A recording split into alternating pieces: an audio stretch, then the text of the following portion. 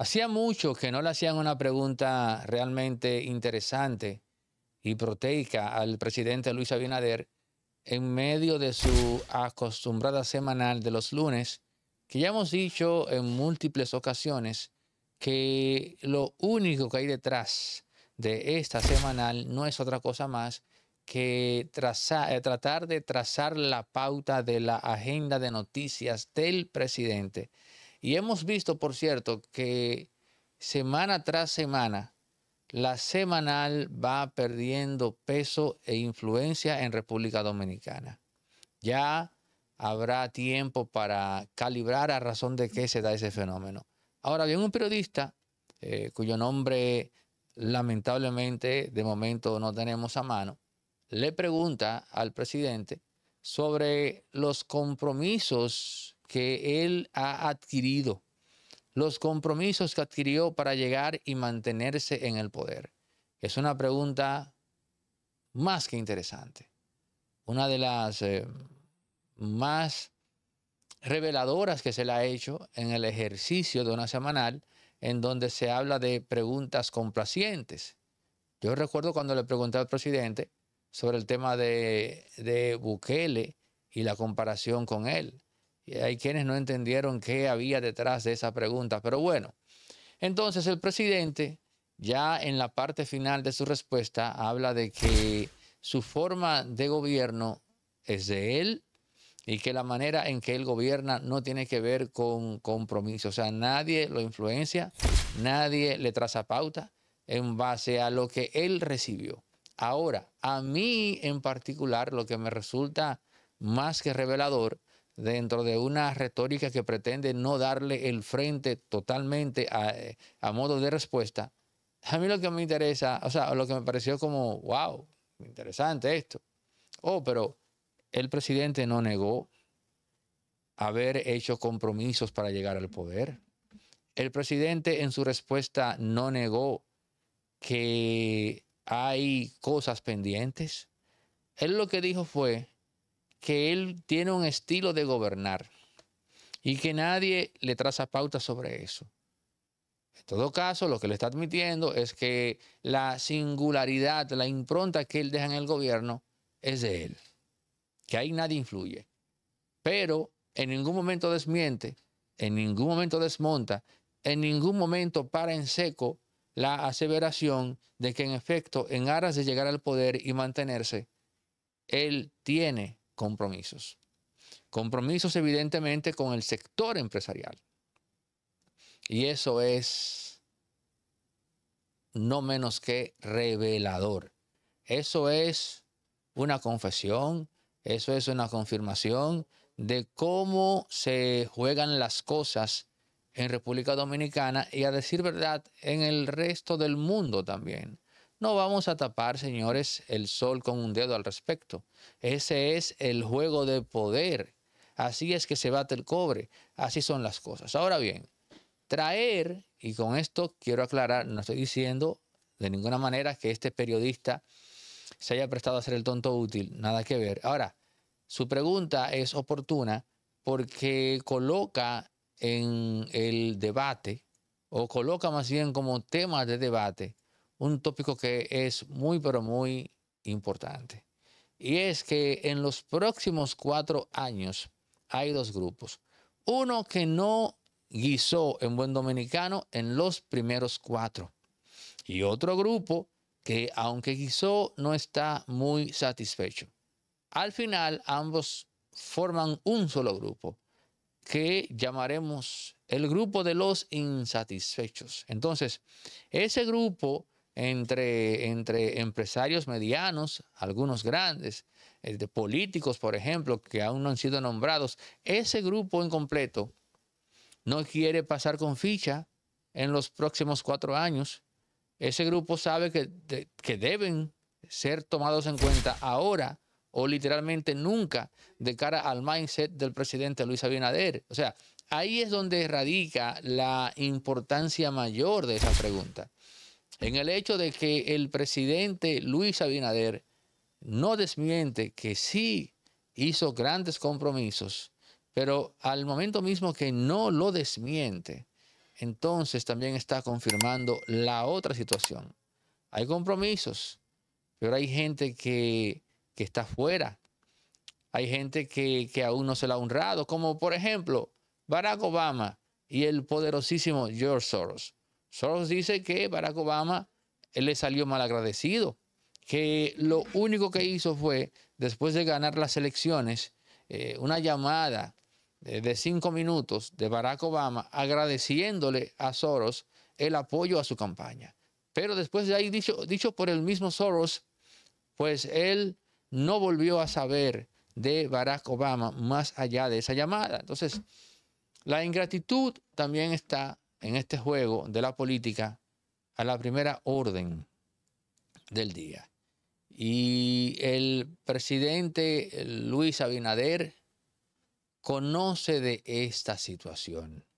Y en última instancia es él quien decide si incorporar en estos próximos cuatro años a esos insatisfechos, a esos que quedaron fuera, tanto en el sector empresarial como a nivel político. Esa pregunta en la cual se le requiere sobre esos compromisos de campaña y el hecho de que el presidente cuando responde no desmienta eso, resulta reveladora, edificante e interesante de cara a cómo se maneja el juego de poder de República Dominicana. Señores, suscríbanse, activen la campana, comenten, compartan, den like, en pie hasta el próximo, aunque en este capítulo queda queda algo por ahí más que comentar.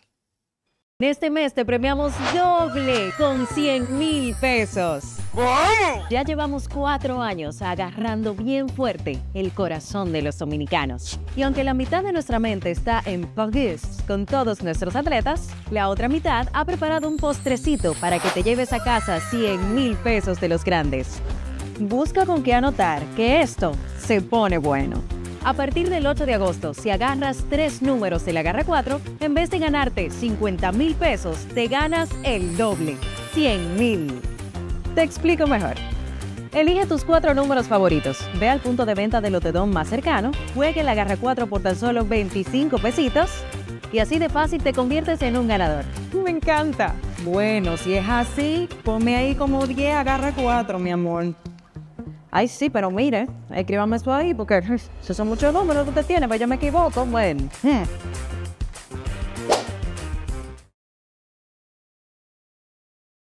Que pueda trabajar un aspecto que tú no trabajas.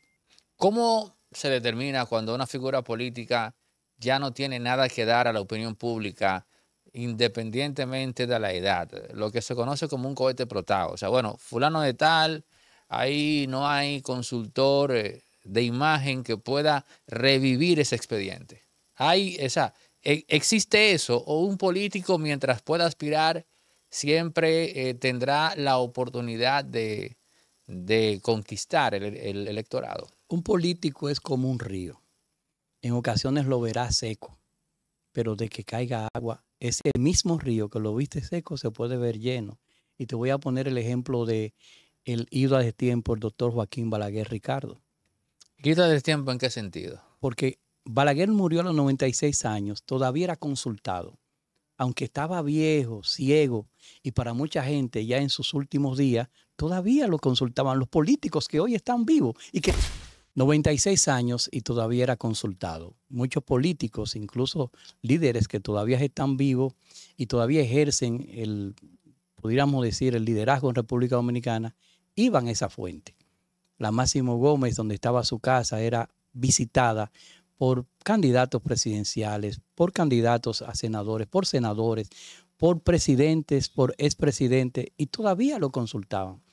Esa mente que aunque el cuerpo estaba viejo, esa mente estaba fresca y estaba llena de contenido, llena de historia, llena de experiencia. Entonces, cuando yo digo ido a destiempo, a veces la gente piensa que lo digo del punto de vista político. Lo digo del punto de vista de la experiencia. En Japón, los ancianos son consultores y lo veneran y lo tratan como tal.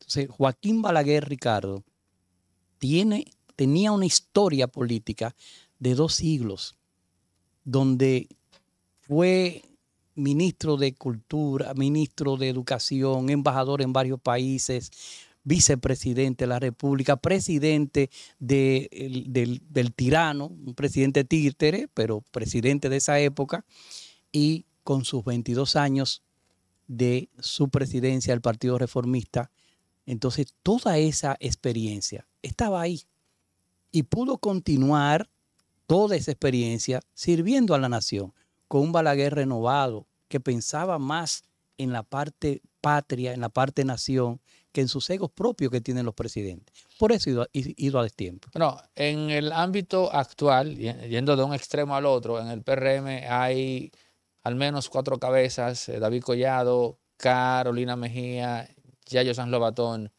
y Wellington Arnott la imagen de esas figuras, ¿cómo ves que, se está trabajando? Pero estás dejando varios. Estás dejando fuera a Guido Gómez Mazara.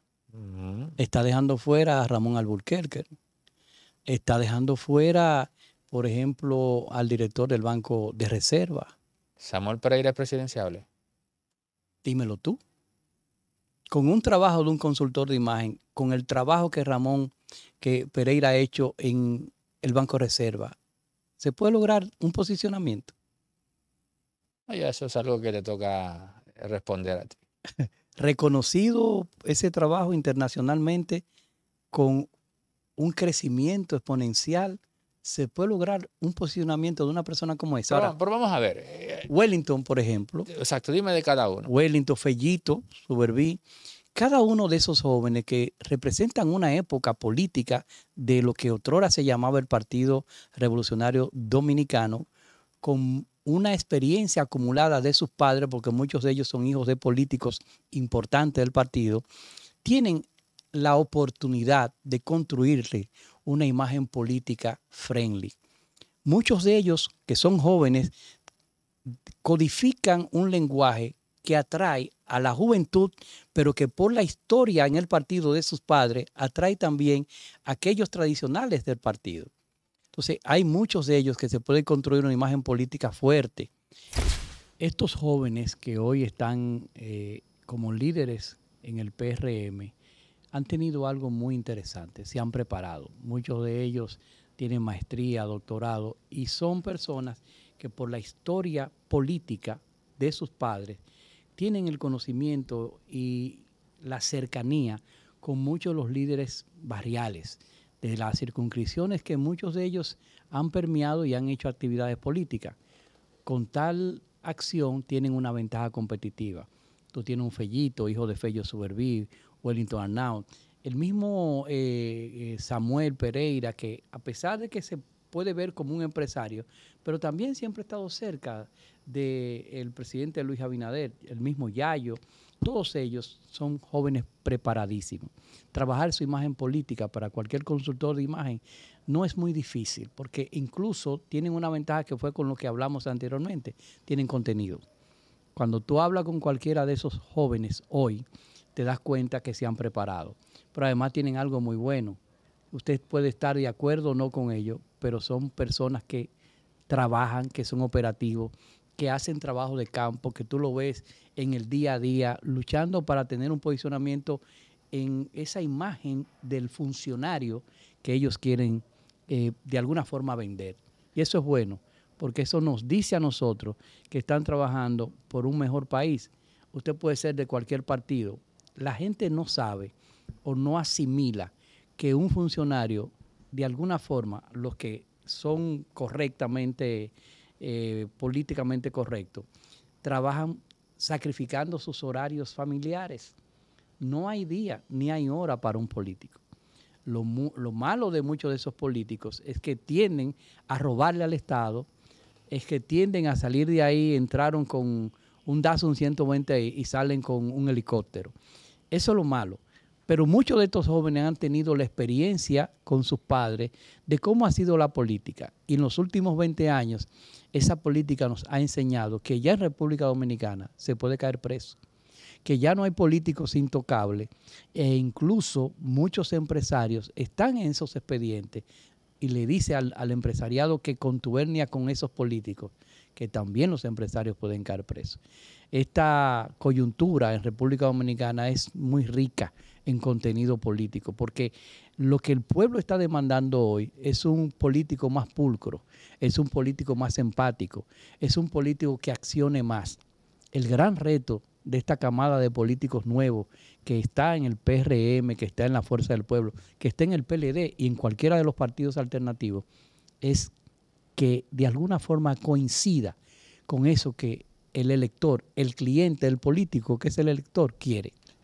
Atención a todos los profesionales, emprendedores y empresas medianas y pequeñas que quieren tener su contenido de calidad circulando por las redes sociales, dando a conocer sus servicios. En Resorte Media hemos habilitado una unidad audiovisual especializada en la producción de contenido corporativo, empresarial y para todo aquel emprendedor que quiere acogerse a aquello de que dice que una imagen vale más que mil palabras en efecto, podrás tener las mejores imágenes, la mejor calidad al precio más competitivo del mercado para dar a conocer tu servicio a todos acá en República Dominicana.